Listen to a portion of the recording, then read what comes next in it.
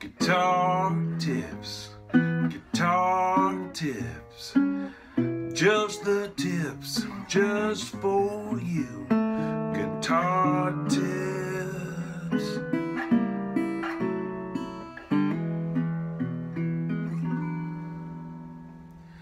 Hello and welcome to Guitar Tips. My name is Adam Levy.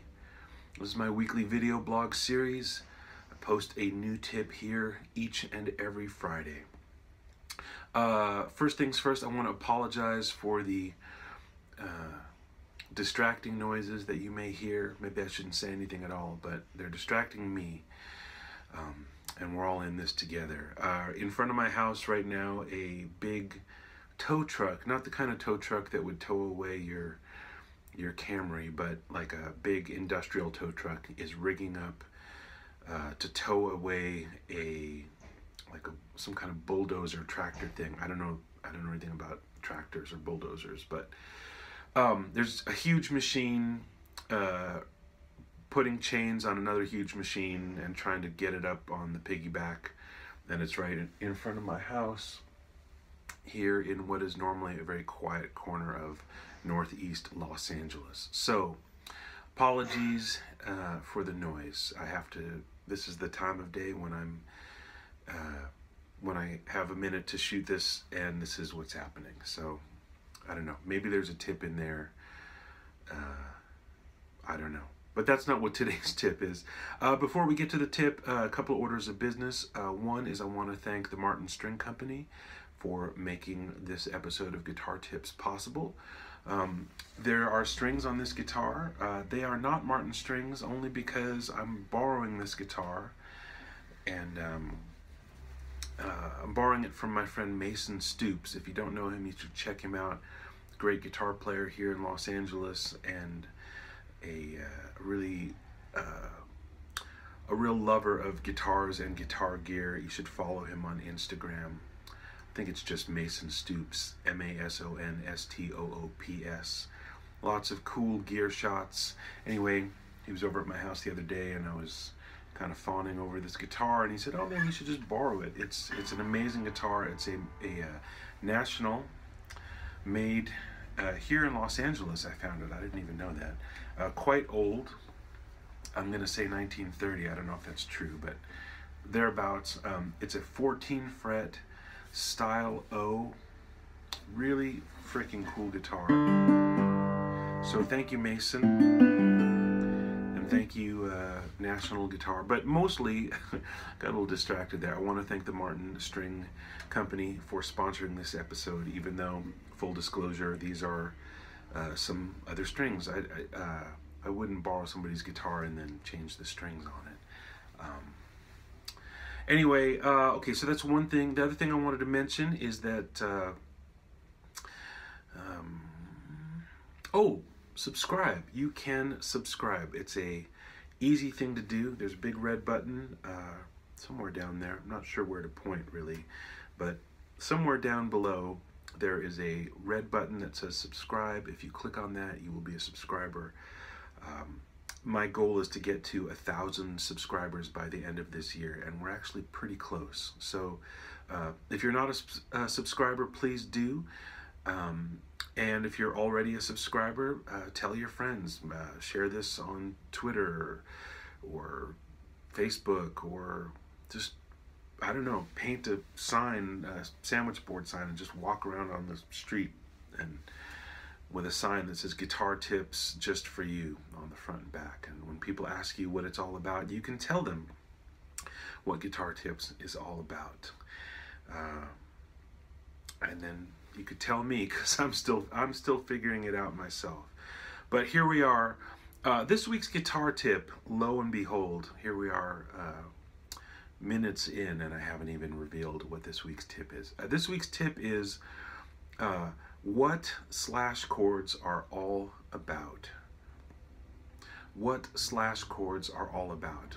And uh, this is just inspired by actually teaching and uh, talking about slash chords in one of my classes at school. I, I teach at the uh, Los Angeles College of Music in Pasadena. And uh, some students seem to be confused about it, uh, if you're confused about it, I hope this tip will leave you uh, less confused. So, right off the bat, a slash chord uh, is called that because we use a slash when we write it down, when we write the name of the chord down. So this has something to do with um, nomenclature, musical nomenclature. Um, so you might see, for example, a symbol that says G slash B. And I'm not talking about a horizontal line where you say where you see G horizontal line B like a fraction. That's actually something else. Maybe we'll get to that in another tip. What I'm talking about is G and then uh, slash B. Okay, same kind of slash you'd see in a in a URL or uh, any other place you see slashes. Um, so G, uh, we say uh, in when we verbalize it, we say G over B. Uh, that's the most common way to say it. What it is is G a G chord or G, you know, a G triad could be could be a bigger G chord with B in the bass. So uh, the front part of the slash chord tells you what the, the basic harmony is. And then the letter after the slash chord is just a bass note. So that may, it, it might seem complicated, but it's really, um, hopefully for clarity. So slash chords come up in a, in a couple of uh, instances, and uh, I'm going to talk about three common ways that we see slash chords. Okay, uh, one is when you have a chord and you have this kind of moving bass line. So this all the harmony here is basically C, but we've got this going down.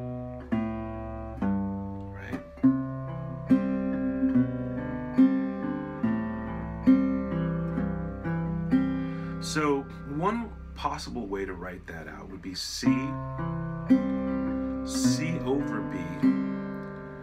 Kind of cheating a little bit here because there's a D note in here that's not really part of a C chord. If you really wanted to play C over B, you'd, you'd, you'd keep this stuff intact and you just walk down and then I'm going to change my fingers here for just, oh boy, the, the big truck just went away. That's great. Okay. So that's C. If you walk the bass note down, this, this finger's doing nothing, so I'm just going to hide it for now. Refinger that just because I think that's a little easier to play. So we go like that. That's C over B, or C slash B. This is uh, a common A minor 7 voicing, but you could call it C over A I, I wouldn't. I would, I would call it A minor 7. But if you wrote C, C slash B, C slash A, at least it would indicate in your little chart that there's some consistency in, in the upper part of the chord, okay? So if you went from C over B to A minor 7, somebody might choose a different voicing and uh, this kind of indicates that the upper part of the chord is staying consistent while the bass note is moving. So uh, kind of six and one, half a dozen of the other. You can make a choice there. Um, and then I went to this last chord. Again, this finger's not doing anything, so I'm just going to tuck it away. This is C over G. It's a C chord with G in the bass. I'm not uh, actually fretting the C note because in my right hand, I'm not articulating uh, the string that, that, that that's on. So I still have these same three notes on top now with G in the bass. So, so C, C over A or A minor 7 if you prefer, and then C over G.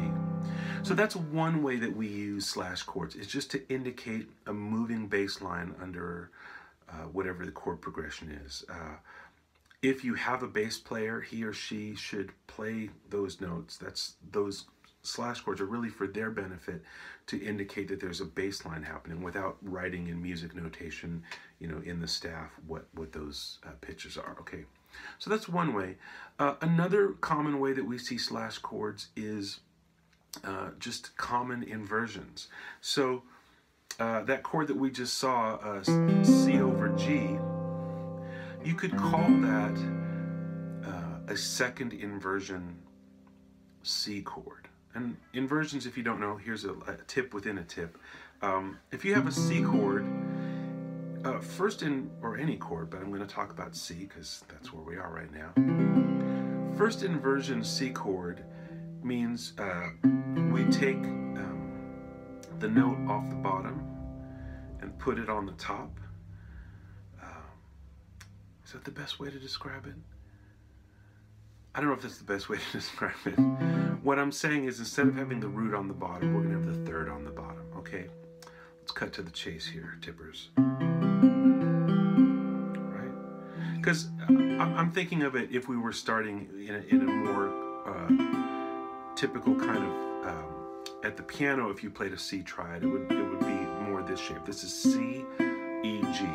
And the first inversion would be like this. So we're taking the bottom note, moving it up an octave. So this note goes to here, and these notes stay the same, but we just have to move them to another string set. So that's what I'm talking about. So literally that's C, that's C first inversion, and that's C second inversion, which will have the fifth on the bottom. So this is C, E, G, E, G, C, G, C, E, okay? But if we're get, talking about just more kind of, you know, open position grabbing chord shapes, uh, this is C, this is C over E. So you could also call that a first inversion C chord. Uh, but in slash chords, which is what this tip is about, that would be C over E. And then you'd have C over G. That's the second inversion. So C, C over E, C over G. And those chords, again, tend to work in a voice leading way. If I'm going from C to F, I could just go C, and all these voices are moving nicely, but we've got the bass note going from C all the way to F. If you want to help connect those dots, you could go C, C over E, and then to F. So now the bass line goes. Okay. So then we'll pass through F sharp diminished, and then C over G. just making something up here. G sharp diminished, A minor, F minor over A flat, that's a first inversion, F minor chord, C over G, D7 over F sharp, F, C over E, E flat diminished, or uh, we could make it an A flat 7 over E flat. That's a second inversion A flat 7 chord. I'm, I'm getting into some other areas. I'm, I'm, I'm trying to sneak uh, many tips into one tip here, but I, I hope uh, that you're clear so far. So we've talked about two ways to use uh, slash chords. One is to indicate a moving bass.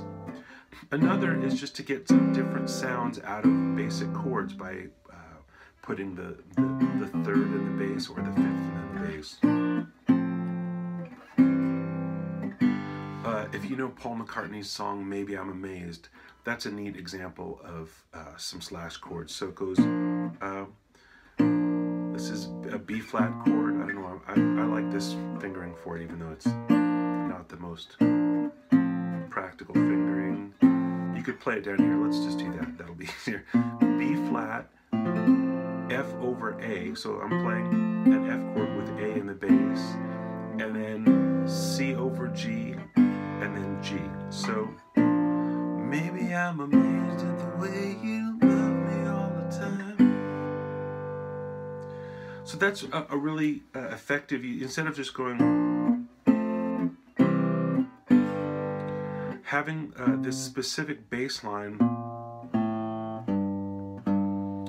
uh, turns the, heart makes something more out of the harmony than what would ordinarily be there.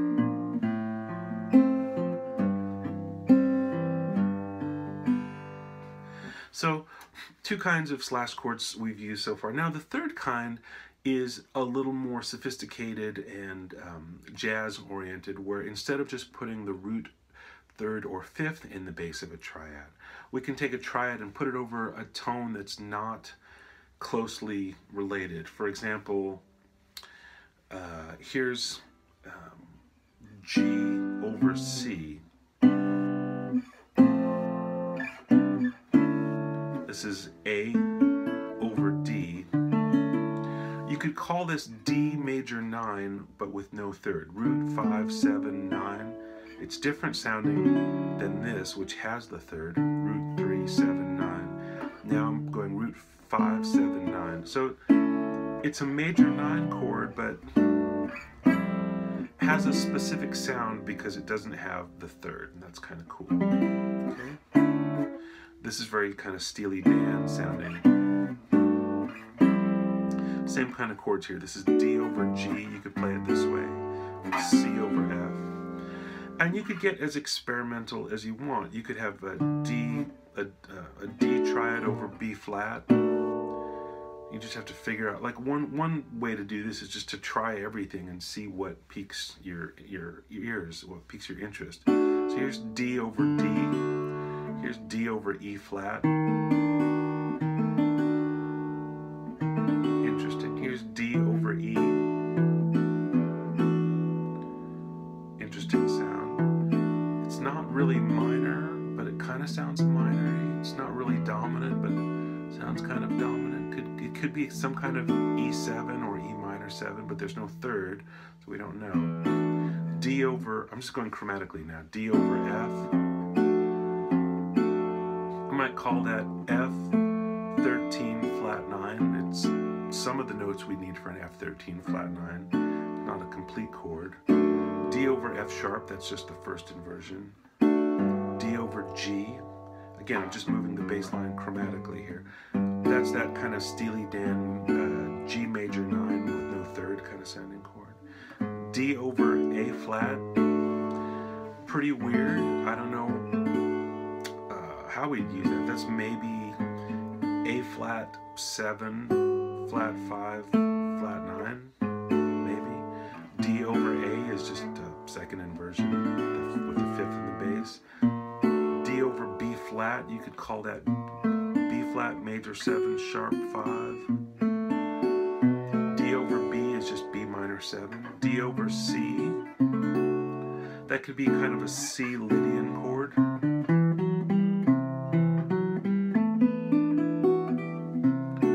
Or it could maybe be a D7 with the 7 in the bass. Just depends on the context. And then D over C sharp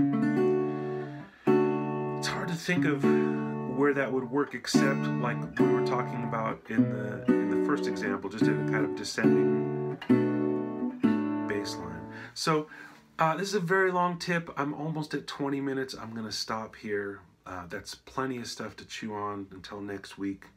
So um, guitar tips, uh, what slash chords are all about. I hope you've enjoyed this tip. I hope you found it valuable. Thanks to the Martin String Company. Thanks to Mason Stoops for lending me this awesome guitar. Uh, tune in next week. Please subscribe. Uh, stay tuned and take good care.